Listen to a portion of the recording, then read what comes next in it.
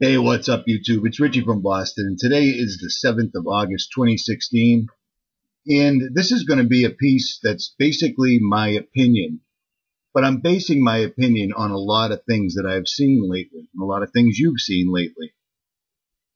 A lot of people like to, and I'm, I'm talking a lot of people, a lot of people like to talk about evolution, how we were monkeys and we somehow managed to hold our breath and turn into human beings and stuff like that. I don't believe that. And if you really honestly go back and research evolution, you'll find out that the guy that actually came up with it, Darwin, said himself, you know, they don't they don't blow this up very often, that the main problem with his theory of evolution, because that's all it is, it's all it ever was. Some guy came up with a with an idea and a bunch of rich people pushed it, basically. But Darwin said his main problem with his theory was there was zero evidence. There's no evidence of a monkey turning into a person.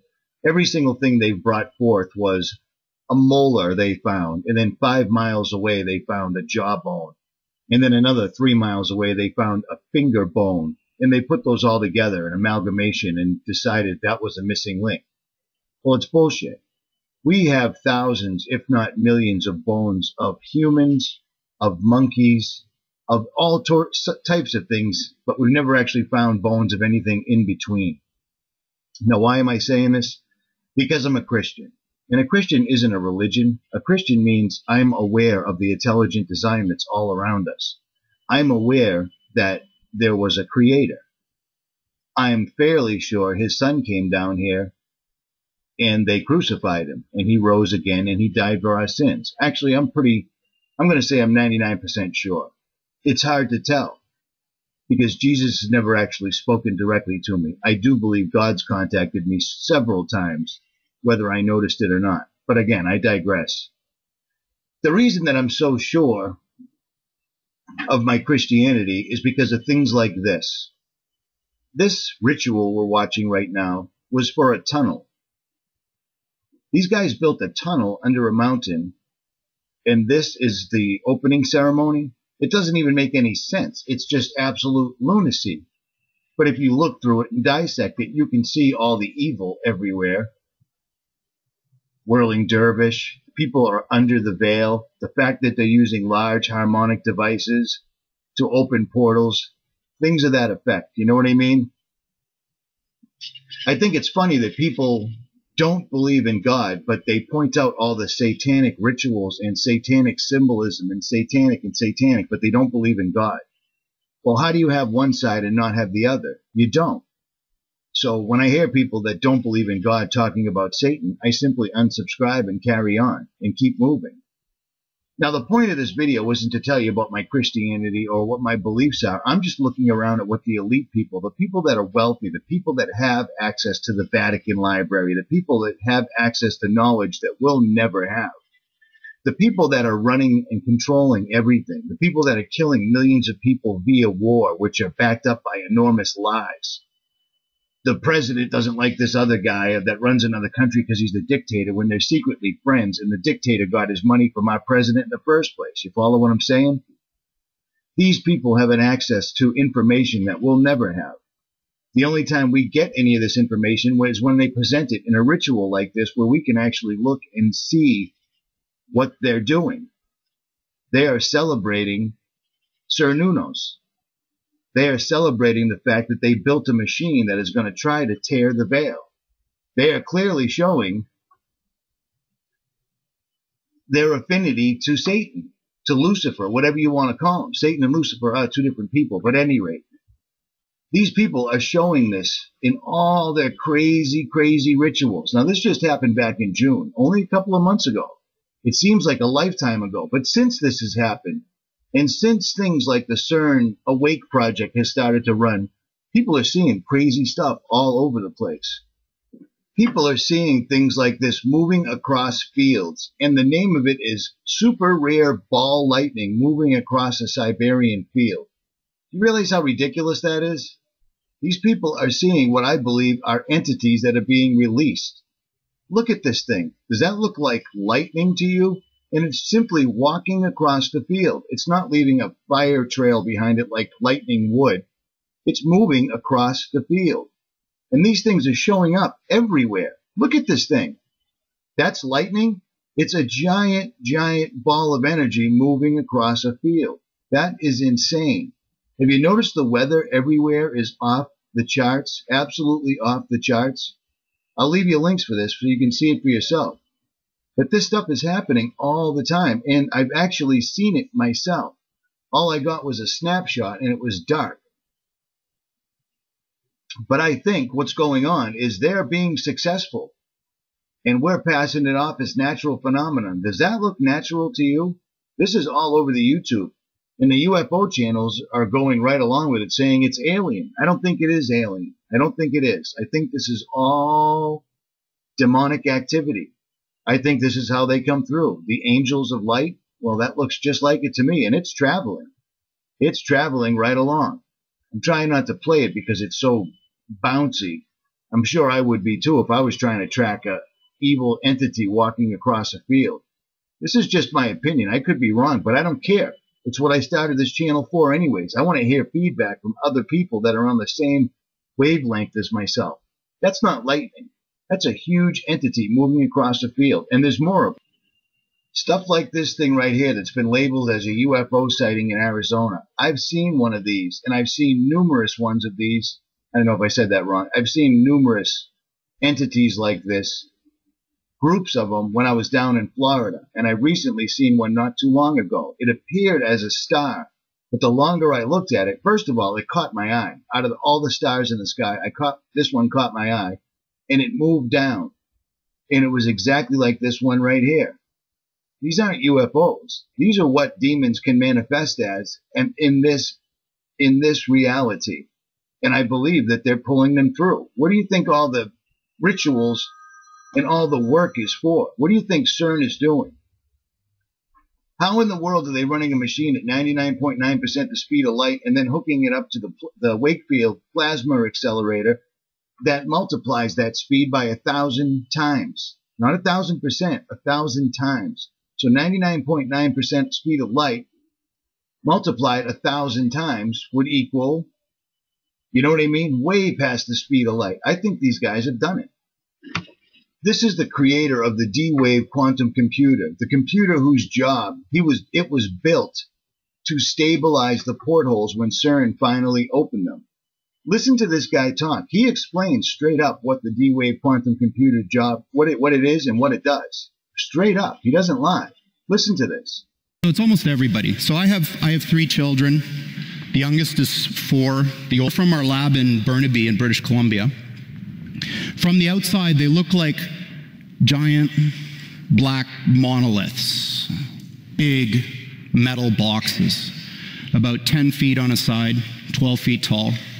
And they are powered, they have a fridge inside them, a refrigerator that cools these chips to almost absolute zero. Just a wisp, a fraction of a degree above absolute zero. Hundreds of times colder than interstellar space. Amongst the coldest and most isolated and extreme conditions that humans have ever been able to engineer. These fridges, interestingly enough, which are called pulse tube dilution refrigerators, have a thing called a pulse tube, which emits a sound roughly once per second, which sounds eerily like a heartbeat. So if you're you have the opportunity to stand next to one of these machines, it is an awe-inspiring thing, at least for me. It feels like an altar to an alien god. It, they really are impressive machines. These things are being caught all over the country as of the last couple of weeks. All over the country, and they're being called they're being called lightning or UFOs or whatever. These are what has always been described as angels of light, demons. They're being brought through. It's working. I apologize that the video isn't spot on, but this is just me rambling because I can't think of any other way to get this out. But it's insane. This is happening. They're pulling it through. They're not hiding it. The machines are running and things are happening all over the United States, all around us. It's crazy. This was in Poland last month. You think that that's lightning just sitting there on the ground? That doesn't make any sense. We've never seen stuff like this before, and now it's everywhere. Mostly in Europe But we're getting the big time storms over here in the United States. Every time we turn around, there's some superstorm out of nowhere that's destroying the place. You know what I'm saying? It's absolutely crazy. At any rate, advanced computers and all that fancy stuff.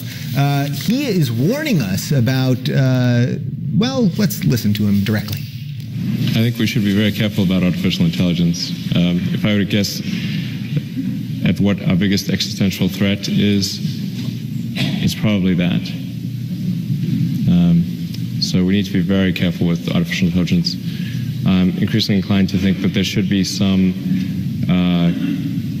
regulatory oversight uh, at the maybe at the national and international level, uh, just to make sure that uh, we don't do something very foolish. Um, I mean, with artificial intelligence, we are summoning the demon. You know, you know all those stories where is the guy with the pentagram and the holy water, and he's like, yeah, he's sure he can control the demon. Didn't work out. Do you hear what he said? The guys with the pentagram. These guys aren't doing it on a small scale. These are their giant pentagrams. These are their black burning candles. They're doing rituals on a massive scale. Eight million pounds it cost for an opening ceremony, and people were flown in from all over the world, including everyone's favorite Illuminati witch, Angela Merkel. You know what I mean? I believe these guys are doing it. Can't you feel it? Can't you feel it all around you? Everything is going wrong. Everything is going wrong. And it seems like the sky has just unleashed on every place. Look around. Go to some of those videos where strange things are happening in 2016 and look what's happening all in the last couple of days. It's absolutely off the hook. Off the hook. You're telling me that these guys aren't summoning demons? What the hell is this? You see what I'm saying? This stuff is for real. I believe it's working. Summer of chaos indeed.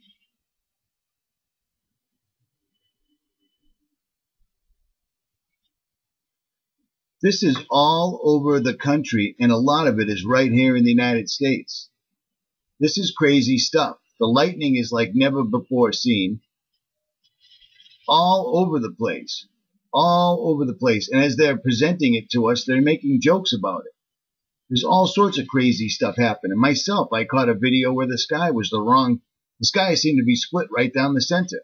You know what I mean? This stuff is off the hook all over the planet. And that's what we would expect if you were summoning a demon on the scale that these guys are doing. And I believe it's working. It's off the hook.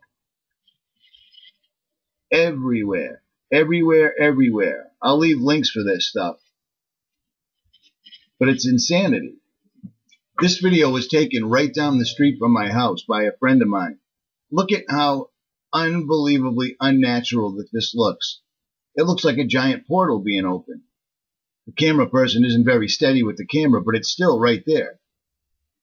And to go along with all the rituals that they're doing all around us, including at Rio, everywhere, everywhere, you can't deny they're constantly putting up some sort of halftime show, something that's satanic now, everywhere we're seeing stuff like this. The School of Satan. This is right by me in Salem, Massachusetts as well. A big, big witch capital of the world. But let me show you something weird about the video I uploaded myself. This is the video I made when I was on my way back from helping out those flood victims down in West Virginia. This video was made in HD, but YouTube won't let it go past 240. Why is that? Why are they killing my my video quality? because it shows it perfectly. It's almost it's almost impossible to see in the video right here the line in the sky. I made this with an HD camera. Everything else I upload is available in HD. This won't go past 240. So they're aware. They know we're doing this. You see what I'm saying? At any rate, I apologize the video isn't made like a motion picture, but finding times to make videos is really hard. I make a lot of videos for you guys, and it's difficult. You know what I'm saying? But long story short, if you don't believe in God, you might want to rethink it because the people that run this planet believe in the opposite. They believe in Satan and they do rituals to him all the time, non stop. And I believe it's having an effect because this stuff is coming through everywhere. Anyways, I hope this made sense to you. I did the best I could on this one. Richie from Boston. I'll leave links in the description, and I am out.